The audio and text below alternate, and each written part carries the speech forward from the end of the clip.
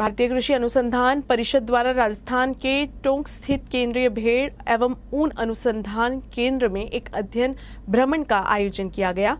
मध्यपाल धनगर विकास मंच के अध्यक्ष संतोष महात्मे के नेतृत्व में एक प्रतिनिधि मंडल ने इस शोध केंद्र का दौरा किया। इस दौरे के दौरान केंद्र के विशेषज्ञों ने प्रतिनिधि मंडल को विभिन्न विषयों पर विस्तृत जानकारी दी। अमरावती में बड़े पैमाने पर खाना बदोश चरवाहों की अपनी विभिन्न समस्याएँ हैं। इनमें सबसे बड़ी समस्या चराई क्षेत्र की है। साधारण घुमंतु चरवाहे साल के सात से आठ महीने अपने पशुओं के साथ घूमते हैं और बरसात के मौसम में चार से पाँच महीने एक ही स्थान पर रहते हैं। इस दौरान उनकी बकरियों और भेड़ों को पर्याप्त चारा नहीं मिलता। साथ ही वन विभाग के दमनकारी पुराने नियमों के आधार पर वन कर्मचारी अवैध रंगदारी का सहारा लेते हैं। भेड़ के उत्पादित ऊन, खाद और मांस आदि के उत्पादन के लिए उचित विपणन प्रणाली की कमी के कारण इस असंगठित और खानाबदोश समाज का एक बड़ा वर्ग बार बार अन्याय का शिकार होता है। पशुधन उनकी आय का मुख्य स्रोत है और चारा उनकी सबसे बड़ी समस्या है। इन ज्वलंत प्रश्न पर मेंढपाल धनगर विकास मंच के संस्थापक अध्यक्ष संतोष महात्मे के नेतृत्व में एक प्रतिनिधि मंडल ने केंद्रीय पशुपालन मंत्री पुरुषोत्तम रूपाला की उपस्थिति में डॉक्टर विकास महात्मे के साथ नागपुर के रवि भवन में मुलाकात की।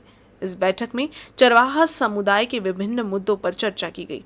जैसा अपन चराई करते हो, झगड़ने से वगैरह कुछ नहीं हो पाएगा, लेकिन चार महीनों में जो अपने कुछ जो उनका चराई रहता है, चराई के लिए सप्लीमेंट्री जो जगहों पे अपन अगर सूखा चारा अगर बनाकर अगर रखे, चार महीने में सप्लीमेंट्री करके अपन अगर दी तो बहुत अच्छा हो जाएगा।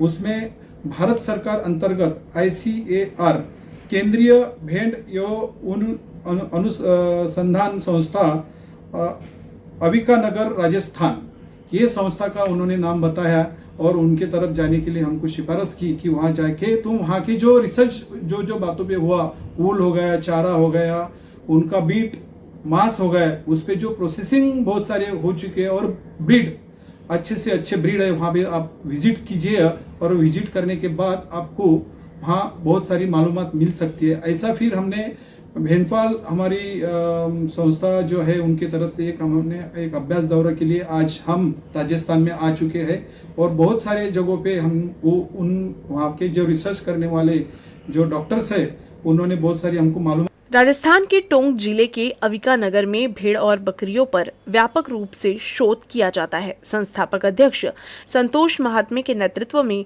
मेंढपाल धनगर विकास मंच के एक प्रतिनिधि मंडल ने अनुसंधान केंद्र का दौरा किया। सबसे पहले अनुसंधान केंद्र के निदेशक डॉक्टर अरुण कुमार तोमर ने यहाँ सभी विभागों में चल रहे शोध की जानकारी दी। तब प्रत्येक विभाग अध्यक्ष ने उस विभाग के गहन शोध के बारे में बताया। पहले भी महाराष्ट्र के जो पशुपालन और कृषि मंत्री थे सुनील केदार साहब, उन्होंने भी संस्थान में अपनी टीम के साथ विज़िट किया था। वो भी यहाँ की गतिविधियों से काफ़ी प्रभावित थे।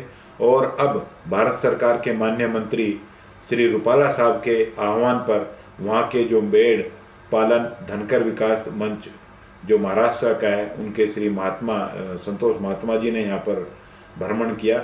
निश्चित ही हमारा संस्थान महाराष्ट्र के भेड़ के लिए और उनके भेड़ पालकों के लिए पूरा सहयोग कर काम करने के लिए तत्पर है। मेढपाल धनगर विकास मंच के संस्थापक अध्यक्ष संतोष महात्मे हमारे ज़िले में चरवाहा समुदाय के उत्थान के लिए अग्रणी रहे हैं। इसीलिए मेढपाल धनगर विकास मंच सोच रहा है कि महाराष्ट्र में इस तरह की पहल कैसे की जा सकती है और भटकते चरवाहे कैसे समृद्ध हो सकते हैं। Arun Joshi, UCN news, Amravati. News